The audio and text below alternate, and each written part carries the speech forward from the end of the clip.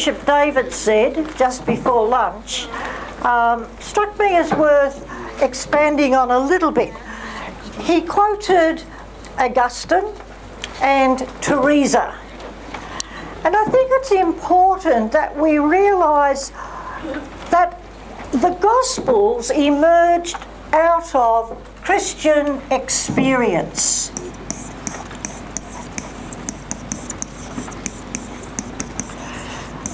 So when Augustine you know, has an experience of God that just totally changes, opens his life, or when it's Teresa, it's that experience of God that begins everything. And so the first experience of God for these communities, of course, was the living Jesus. And then that experience continued in the resurrection, ongoing experience of Jesus alive. In pondering, what is it that we are experiencing? How can we name it? That's when you get words.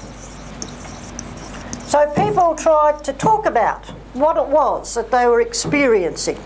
And they obviously experience joy, thanksgiving, delight, something new. They called it good news. Good news. So the words. Now, once you start putting words on your experience of God, you're doing theology. So that's the next step. These early Christian communities are making connections between their experience and what they know about God and using God language, uh, language that uh, we find in the scriptures of Israel to try and say, ah, that's what we're experiencing. We're experiencing a new covenant or we're experiencing the Holy Spirit being poured into our hearts. So it begins so with an experience and then finding the language to put on the experience. Eventually, the gospel writers take the theology, what they've learnt, the words they've been using, the thinking that's been going on, and the gospels reflect that in a story or we might say a narrative. And the narrative focuses on, on Jesus, but it's much more than just the remembered events. It's the Jesus story that flows out of their ongoing experience. Did Jesus experienced by some of them when, they, when he was alive before the crucifixion. But it's also continued through that experience of Jesus alive with them right now. And the words and the thinking about what does it mean. But I think it's important that we see the Gospels develop out of an experience. And sometimes we can get a bit lost when we're trying to read the Gospels and think, oh, what's it all mean? I don't understand it, da da da da. But if we can try and get a sense of, look, these are real human beings, like me, who had an experience of God in Jesus, and they struggled to put words on it. Uh, they, they did the best they could. The words they found the most helpful came from their Jewish background. Later on, church words, as people sort of lost touch a bit with the Judaism, the Jew Jewish background, they looked for other words and they, they found some helpful words in Greek philosophy. So later on, we turned more to philosophy. But all the time, we're trying to put words on what is God doing in our lives? Whether it's early in, in the story, and so we have the Gospels, or whether it's later the creeds. Always they're an attempt to put words on our experience. And no words really adequately capture the experience. It's always, this is good, and there's so much more. So I just thought um, it's helpful to reflect on the sense of experience as well as story. I, I also wanted to tell you a little story. Again, something uh, David said reminded me of this about seeing, and what Frank was doing too, about having the eyes to see. Uh, one of the sisters in my community uh, teaches little kids, you know, pre-preps, that age level, five, six year olds. And she asked this little fellow one time, where did dead people go? What happens to dead people? And this little guy says, oh, they go to live with God. Yeah, that's good. So Helen says, but you told me God is all around us. Yeah, that's right. So does that mean the dead people are all around us? And this little guy says, Yeah, that's right. And Helen says, But so why can't we see them? And she says, and the little fellow says, Because we're not dead yet. I thought, wow. what about that? You know, there's a whole reality that we don't see because we're not dead yet. I love it. Uh, I, I, think there's great truth in that. All right.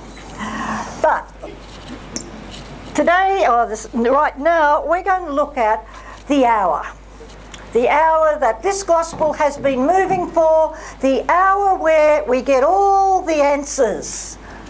They all happen. Our Agatha Christie novel is coming to its end. All the clues.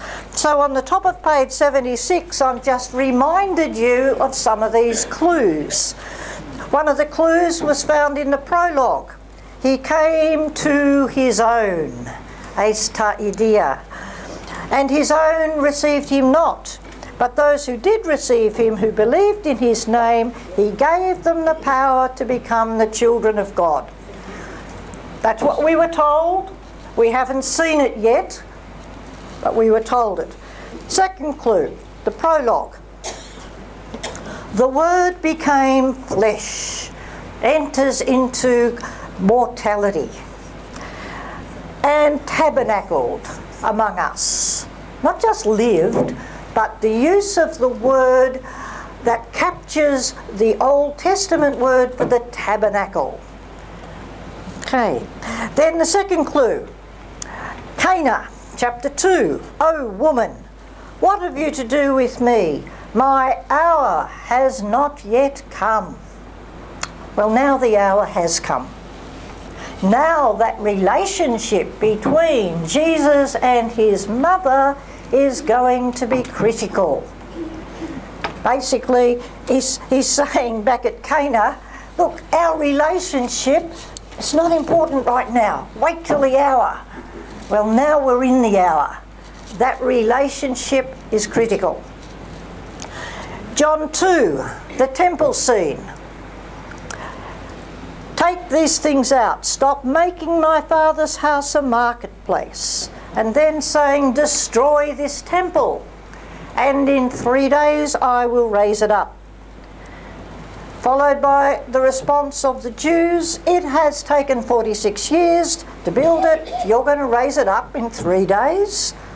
And the narrator telling us he spoke of the temple of his body. And to Nicodemus, unless one is born again, or born from above, he cannot see the kingdom of God unless one is born of water and the Spirit, he cannot enter the kingdom. Rather enigmatic sayings, But now we're going to see how the cross makes sense of them. So I want you to have a look at your text because it's really important you see what the words are and sometimes I'm going to say those words are not right. That's not what the Greek says. So get your biros ready to put in some other words. And it begins. Chapter 18, verse 1. After Jesus had spoken these words, he went out with his disciples across the Kidron Valley to a place where there was a garden. Now, Catholics are really good at mixing up the Gospels into a dog's breakfast. In the Rosary, we say the agony in the garden. Nonsense. Only Luke uses the word agony. And only John uses garden. So we've mixed up two Gospels. So forget about agony in the garden. But think of it, when you hear the word garden, you're into John. Mark says he went uh, into the uh, Gethsemane. Just Gethsemane. Doesn't call it a garden, Gethsemane. Matthew does the same. Luke, because he, he realises his, his audience won't know what Gethsemane means, calls it Mount Olives. But John says there was a garden. Here it is. Oopsie do, I'm still rubbing it out. Garden. I'm pushing the wrong thing. Ah, I'm still pushing the wrong thing. Start again. Start again, Mary. There we go. There it is. Now turn to chapter 19, verse 41, 19. Now there was a garden in the place where Jesus was crucified, and in the garden there was a new tomb, which no one had ever been laid. So it ends in a garden. These are John's instructions. If you want to paint this scene, here's the background. It begins in a garden, it ends in a garden. What's the most important garden in the Bible? Eden. Eden, right. The first original garden of creation. Now have a look at John 19. So it's chapter 19, verse 18. And this is one of those where the translators haven't done a very good job. 18. There they crucified him, and with him two others, one on either side.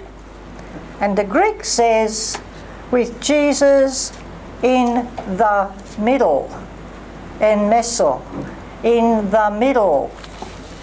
So here they are, here's the cross. Now, think in terms of the Garden of Creation, the Garden of Eden. What was in the middle of that garden? Tree of life. Correct. Tree of life. Okay, Genesis, tree of life. I've been looking for uh, some of you, many of some of you might have had it. There's a magnificent church in Rome, the Church of San Clemente, and above the uh, altar they have a magnificent uh, mosaic of the cross as a tree of life. Um, if any of you have got a photo of it, please send it to me. so there we go, the cross as a tree of life. What's John doing? He's telling the crucifixion story as a creation story. It's in the text. And if you have a look at John 19 25, we get two people in this garden standing at the foot of the cross. Two of them are emphasised the mother of Jesus and the disciple. Okay? Just have a read of it. Got a, a, list of a few women, and then the mother of Jesus and the disciple are singled out. So I'm going to draw them. Here we go, the mother and the disciple. You could draw them too because it can be helpful. Now, again, notice the way John names this person, the woman. Uh, we're first of all told standing by the cross of Jesus were his mother. And then when Jesus speaks to her, he calls her woman, which is just the same as we had back at Cana. So she is woman and mother. Does that sound like anybody you know?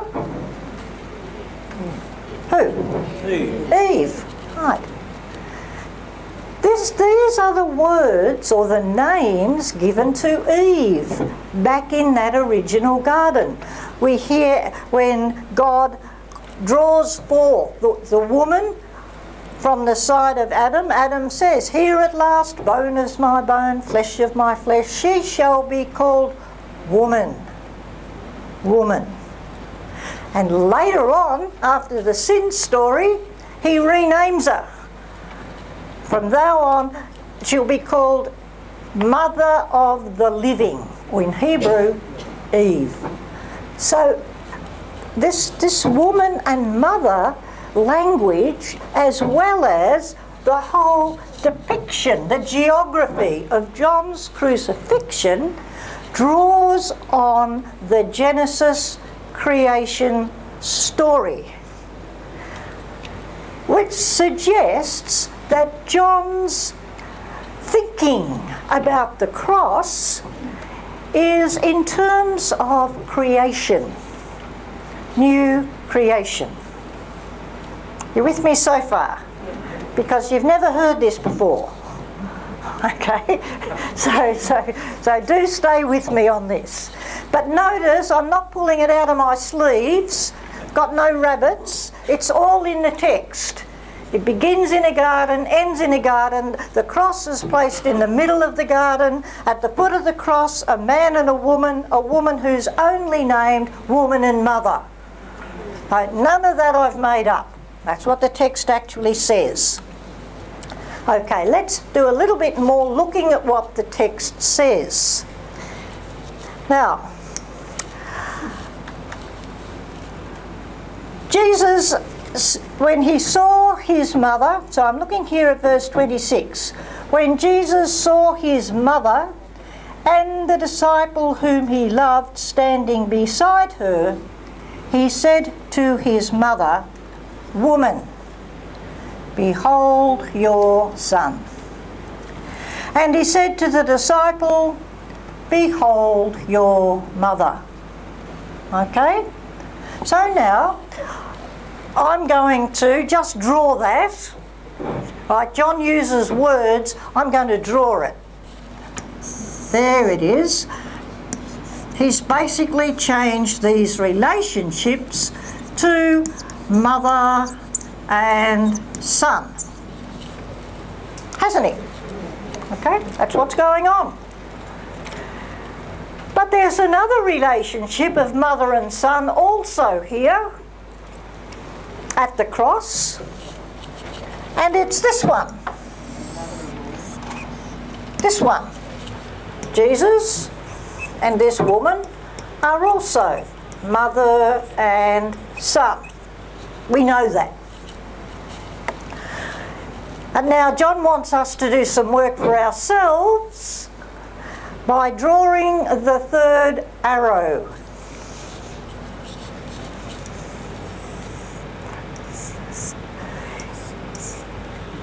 If these now both look to this woman and the relationship is mother and son, what does this make this relationship?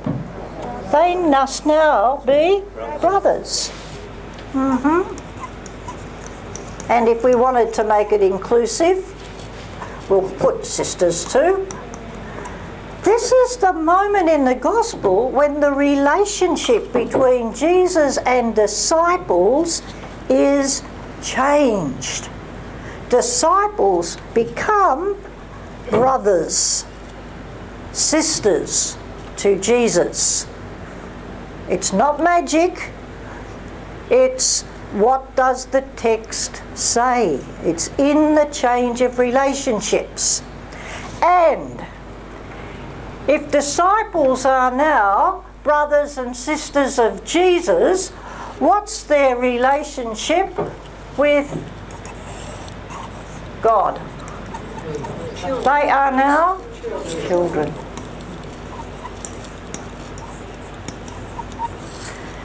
This is the moment when the narrative tell actually shows us what the prologue promised.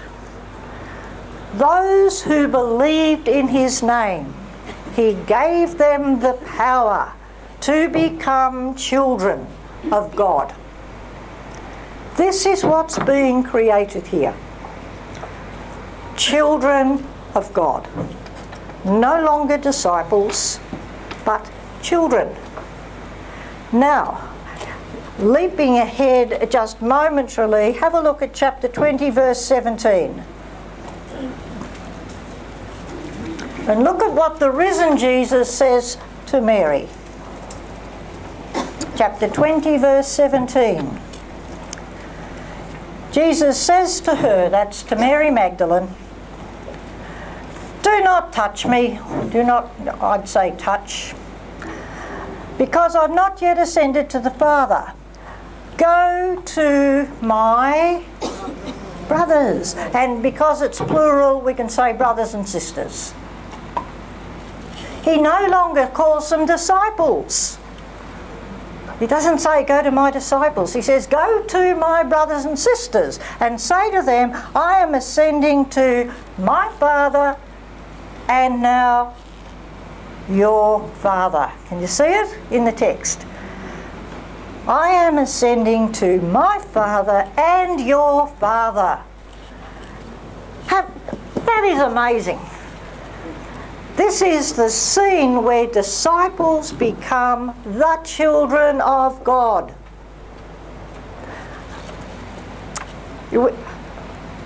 Some of you are looking at me as if I've just pulled 17 rabbits out of hats. it's in the text. I hope you can see it there. This is what this scene is all about. It's about disciples drawn into Jesus' own relationship with God. That's what we were told was going to happen. Now, let's go back to our Bibles Verse 27.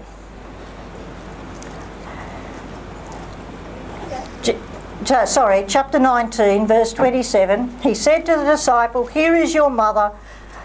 And then we're told, and from that hour, follow the text, the disciple took her, and now we get that phrase again. eis ta idia the phrase that was used in John 1:11. He came to his own, and his own did not receive him, but those who did receive him, he gave them the power to become the children of God. Same phrase, linking these two scenes. And look how the translators have messed it up for us. Look at what your Bible says. Yours probably says, and from that hour the disciple took her into his own home. Nonsense, nonsense, nonsense. this is the high point of the gospel, people. After this, Jesus says, everything is now finished. Please do not tell me. The whole point of John's gospel is to say, would you look after me mum? You know, take her home, pink fluffy slippers, sherry, she likes a dressing gown, and yet that's how we've understood this scene. As if now from the cross, the last words of the dying Jesus are simply look after mum. That is absolute nonsense. This is, the, this is what this scene is all about. Partly it's, it's, it's been done by bad translations. They've added a word that's not in the Greek. The word home is simply is not there. So they've added it because they haven't understood it. Translators are not theologians. Okay, so from that hour, the disciple took her ta idia, looked back to where we were first used the phrase, and it's about becoming children of God. That's what this is about. That disciples are brought into Jesus' own relationship with God. Now, take a moment, have a little buzz, because you've never heard that before unless you've read my books. so, but only a minute. Okay, let's keep going. Now, you remember when I did the prologue with you, I took you back to the opening chapter of Genesis and we had a look and showed that, that the structure is very similar except John's Gospel did not have a seventh day. Remember doing that yesterday? Okay. And I said to you, because John's running with a theology of ongoing creation. And it's only now, chapter 19, verse 20, now we hear the language of being finished, which is the language used of God back in Genesis. After this, Jesus knew that all was now finished. And to fulfill the scriptures, he said, I am thirsty. There's the, the jar of vinegar, the sponge lifted up on a branch of hyssop with time we'll look at what that's about. And then Jesus says, It is finished. Bowed his head, gave over. Now, again, the translator here says his spirit. It's not, it says the spirit in Greek. He handed over the spirit. T-H-E. If you want to capitalise spirit, capitalise it. It's not simply saying Jesus died. This is the moment when that spirit is given. And then we're told the very next day was the Sabbath. Yeah. Now, see, back in Genesis, we have God's creative activity going on, on the sixth day of that creative activity, oopsie do, squeeze that thing again, we get the creation of men and women, male and female. Oops, put it there. And then we said God rested, and we have the Sabbath. In John, we don't have a Sabbath in the prologue. It's not until now we can get the great Sabbath. And the text actually says it was a great Sabbath. So, this marvellous scene of disciples becoming the children of God, the announcement, it is finished, followed by the great Sabbath. The great Sabbath. This is a creation moment. A creation moment. Now we heard to, to Nicodemus, Jesus spoke about being reborn. Okay, well, this is where he shows we're reborn not simply as human people, but caught up in the very life of God. Whole new ball game. Whole new type of person is possible. Um, lots of other things are happening here at the cross. I think again I'd just like to take a minute because I want to move to another theme that's here but I don't want you to lose that one because lots of things are all going to get interwoven here. So that's one, the whole creation theme. So again, just, just a little break, have a little pause and think about it we see this theme And I don't want to do anything much on 20, John 20 because Frank's doing that next, the whole resurrection story. But one tiny aspect of John 20 I want you to take notice of. And it's chapter 20, verse 26. It's the reading we had this morning. And chapter 20, verse 26 says, here we go. Well, what it should say is eight days later. And chapter 20 begins on the first day. We're talking about what we call the Sunday. Remember the Jewish week, seven days. That's the first creation. God rested on the seventh day. So the next day could be called either the first day and it could also be called the eighth day. And what happens, what we find in the early church and in Judaism at this time, the language of the eighth day takes on a meaning. It takes on the meaning of, as the beginning of the new creation. The first creation was a seven day creation. The new creation starts on the eighth day, the beginning of the new creation. And I've given a little passage on, on your page where we find this in some early Christian writing. Uh, where did I see it? Top of page. Top of page 78. Thanks. Thanks, Frank.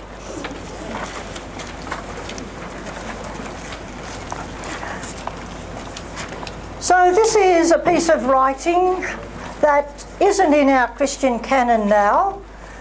Sometimes in the early manuscripts it used to get in, but ultimately it wasn't collected as part of the canon. Called the Epistle of Barnabas, and it says, he further says to them, Your new moons and Sabbaths I disdain. Okay, quoting the scriptures. Consider what he means. Not the Sabbaths of the present era are acceptable to me, but that which I have appointed to mark the end of the world and to usher in the eighth day. That is, the dawn of another world. And this, by the way, is the reason why we joyfully celebrate the eighth day, the same day on which Jesus rose from the dead, after which he manifested himself and went up to heaven. People, you and I are eighth day people. We're people of the eighth day, the new creation. And, and, and we, when did this happen for us? Think in terms of your local church. This theology, I think we forgot in our tradition, except in our architecture. Many church baptism fonts and baptistries have retained this theology a theology of the eighth day. And I've got some pictures there of some baptism fonts. The one on the top left comes from Bethlehem and it's got eight sides. The one uh, on the right is from our convent in Wagga, eight sides. And the one underneath I just pinched off Google. eight sides. And some of you have been to Florence, eight sides. Uh, somebody was talking, Frank, you were talking to me about Oakland, the new cathedral there. Well, when I looked at the baptism at first, I was a bit disappointed because it's got a whole pool. And I happened to be, though, with a priest who was an architect, and he said, Mary, look at the roof.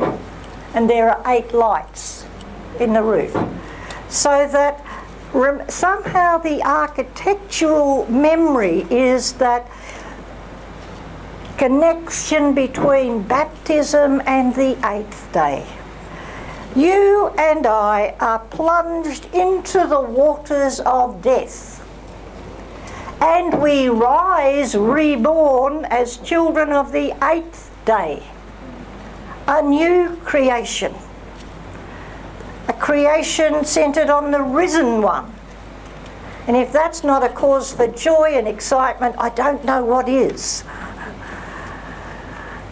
Okay? So th- that's who we are. That's our identity. We are eighth day people living in the new creation that has begun, hasn't yet been brought to its fulfillment, but it is in process. Eighth day people. I find that really exciting. okay, one of the other themes unique to John so again, if we go back to chapter 18,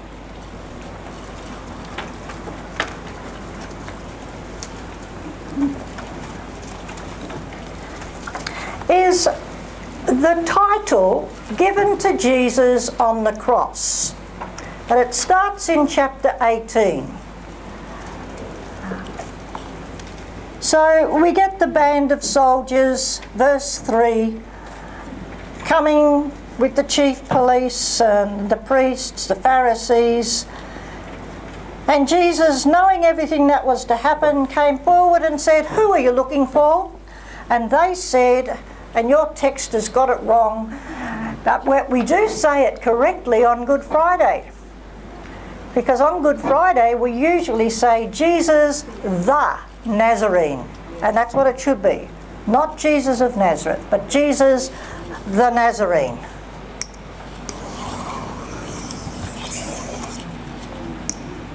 Oops, didn't do it. Let's go now. Okay. Then, well, here we go again. The Nazarene. And then because John knows that sometimes we need to be hit over the head to really get something, they all fall to the ground in astonishment. Uh, and he says again, Who are you looking for? And once again, they say, Jesus the Nazarene. Jesus responds with the great ego eimi, I am. But we've heard that title now twice Jesus the Nazarene. And the next time we hear it is in John 19. So have a look, chapter 19, verse 19. And it says, Pilate also had now, the next word, I'm going to write it on the board. Now you look at what it says in Greek and you'll be able to read it. It says this.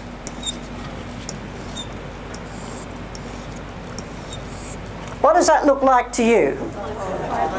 Why the translators didn't write title, I'll never know. They call it an inscription when it's actually a title. A title. Mark calls it an inscription, Matthew calls it a charge, and Luke also calls it an, a notice. But in, in John, it's called a title. And this is the title Jesus dies under Jesus the Nazarene, the King of the Jews. So it's a unique title in John. We don't get it in the other Gospels, even though most of our Christian crosses have got I-N-R-I. But really the I-N, Jesus the Nazarene, is only found in the Gospel of John. You with me? Yeah. Haven't gone to sleep? No. No? Good. Okay. Why am I raving about this? The Nazarene. Where does it come from? Once again, it takes us back to a passage in the Old Testament that talks about a netzah. Remember, Hebrew doesn't have vowels. And the passage is, and I've got it on your sheet here, page 78 There shall come forth a shoot from the stump of Jesse. Jesse's the father of King David and a branch that is a nedza, shall grow out of his roots. So this branch in Isaiah comes from the same Hebrew root as the word Nazarene. Got that with me?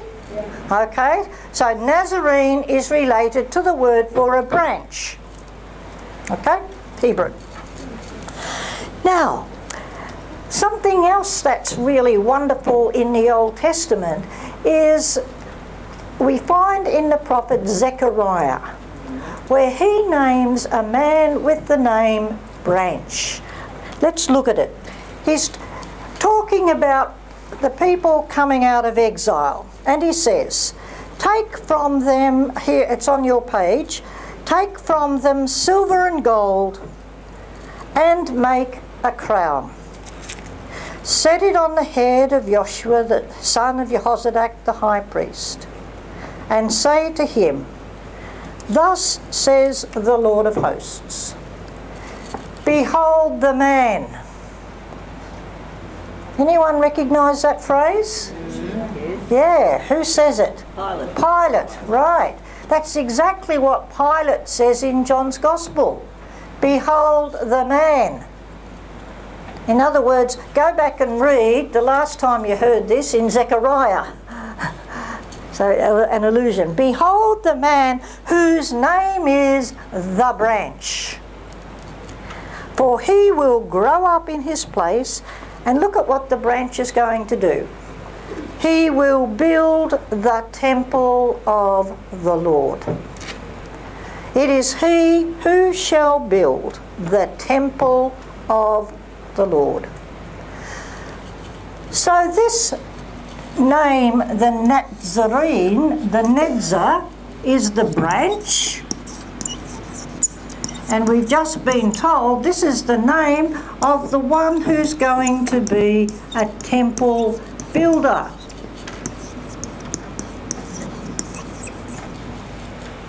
That's why Jesus is given this title in John. Because that's exactly what John has Jesus saying back in the temple in John 2. Remember the Jews come and said, give us a sign for, for, for overturning the tables and throwing out the animals. And Jesus said, destroy this temple and in three days I will raise it up. Then he spoke of the temple of his body. Here on the cross, one temple is being destroyed the temple of Jesus' body. At the same time, Jesus the Nazarene, the temple builder branch, is raising a new temple. Let's take that in. That's what that sign means.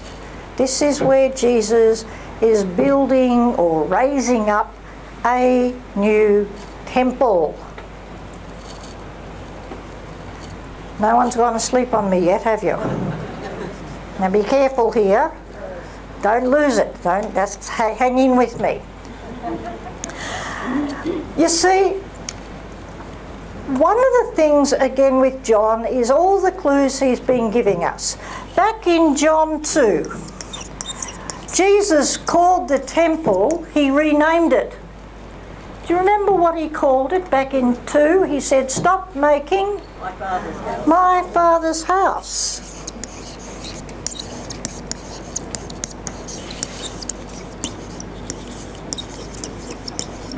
So Jesus has renamed the temple my father's house. You know, in the Old Testament, if you said my father's house, they wouldn't think a building. They'd think you were talking about people. They'd think you were talking about the people who were part of the household. So, my father's house is a way of referring to the people the wife or wives, the children, the slaves, the grandchildren, future generations. So this language of my father's house, oops, I've done it again. Uh.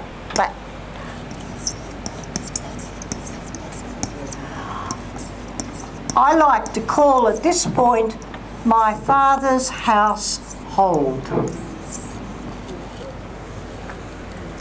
To give the sense that we've, we've shifted away from a building, the temple building where God dwells, to the person of Jesus, and now to a wider community, people who make up the Father's household, the temple, the household of the Father. Asking you to hold quite a few things together. This is the beauty, the artistry of the gospel. Lots of layers coming together. Who are the people of these fathers' household? Well, hasn't it just been created?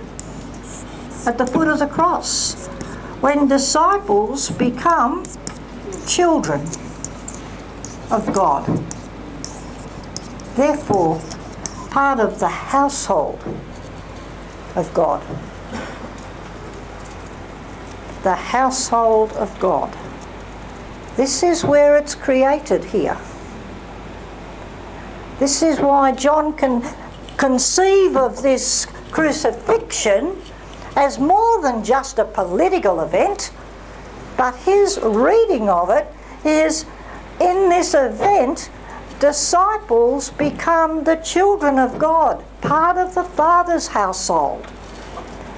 And John creates this extraordinary narrative to bring out that theological insight.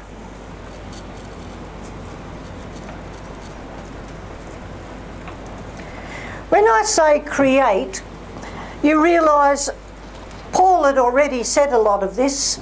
Paul had already said to the, uh, you know, the early uh, Christian community, don't you know you are a temple of God?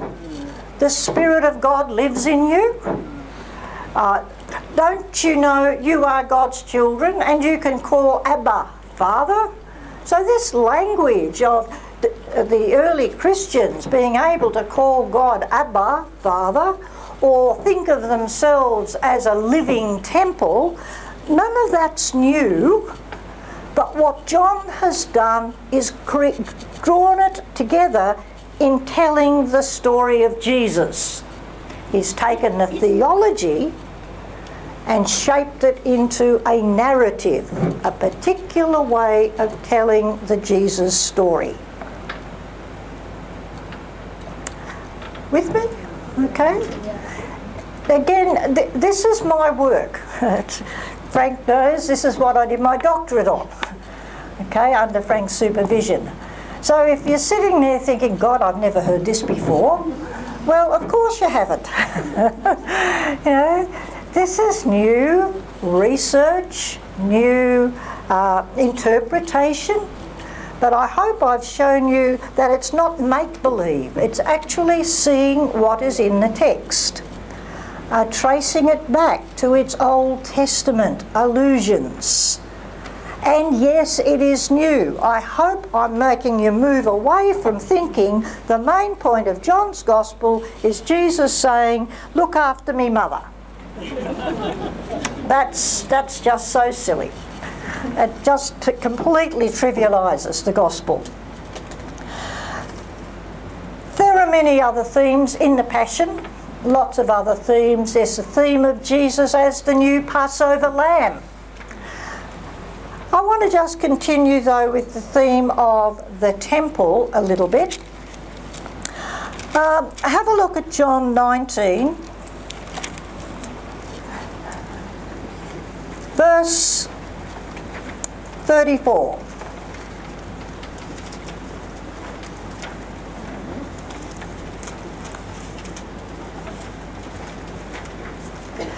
And it's the scene where Jesus' side is pierced. Got that? Okay, instead, one of the soldiers pierced his side with a spear. And at once, blood and water came out various possibilities for this what might lie behind this. Piercing of the side of Jesus. I can think of three, there might even be more. But these are the three that I think of. One of them is a birth image. That with the birth of a child, there is a flow of blood and water. And here at the cross, disciples are born again as children of God, born of the Spirit that Jesus breathes upon them. So that's a possibility. Another possibility is temple language. Because if you think about it, what's going on in the temple on this day, which John has, is the day getting ready for Passover. This is the day when people are bringing their lambs into the temple to the priests to be slaughtered. So imagine what's going on. You have thousands, and they are all bringing their lambs. First one group from about midday. Those lambs are killed, skins wrapped up, blood drained, out they go. Next lot come in. Lambs are killed, uh, wrapped up, taken home to eat. What do you think the temple looks like by the end of that day? Absolutely covered in the blood of all the sacrificial lambs. So what do you think the priests are doing at the end of the day? Washing it out, of course. So out of the side of the temple is literally flowing blood and water. So it's possible that this too, of the blood and water flowing from the side of Jesus, is also a reference to what's going on on the other side of Jerusalem at the, in the temple. So, two possibilities there. That one possibility is a birth image. We do find that picked up in some of the early uh, Greek fathers of the church. The other possibility is the temple imagery, still flowing through this scene. Now, I want to move from scripture to saying a little tiny bit, and I, I might like to continue on this. You see, the early church, a Greek church, and this the oh, well, Jewish moved into the Greco-Roman world. This understanding of the meaning of Jesus' death is that we become children of God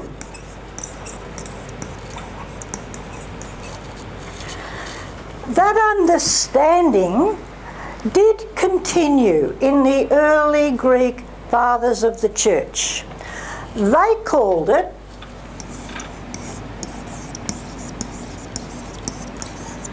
theosis, becoming godlike. That we are drawn into the life of God. Uh, I think uh, Bishop David, you quoted Irenaeus saying, God became human that we might become divine. Okay, uh, but apart from Irenaeus, Athanasius is another one. Very strongly, this theology of Jesus as the one who draws us into God. Greek theology, very strong, continued. Over in the West, as Christianity developed, I think we began to lose some of this theology. And I think we began to look much more to the synoptic gospels, where the passion, the imagery around the passion, is much more the imagery of atonement. And I think in the West, we picked up much more a theology of the meaning of the cross is about making atonement or reparation. So that's probably the theology that you and I grew up with and are very familiar with. What I love about John is an alternative New Testament theology of the cross.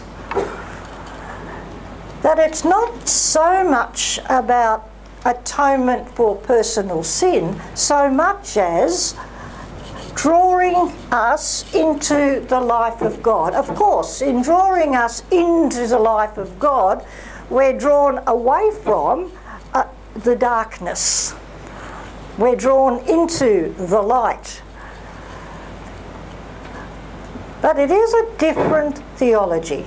And I think it's a theology that our church uh, in today's society, today's world, really needs to reclaim. I think it is a, a gospel, a theology where there is cause for great joy. That you and I are called to be participants in the very life of God. And that means right now, that's what you and I are living. That eternity life of God that's why in our Christian church we often use the reading from the book of wisdom at a death, where we read, In the eyes of the world they appeared to die, but they only appeared to die. Their life lives on in the hands of God. That's what we're living out, people. We are people of the eighth day. A whole new creation. Okay? So Frank's going to take you into uh, the resurrection narrative because it's all very well. Here we are at the cross in chapter 18 and 19. But where are the other disciples? They've fled to the hills. so they got to come to this faith. And that's the story of chapter 20. So thank you all. Thank you.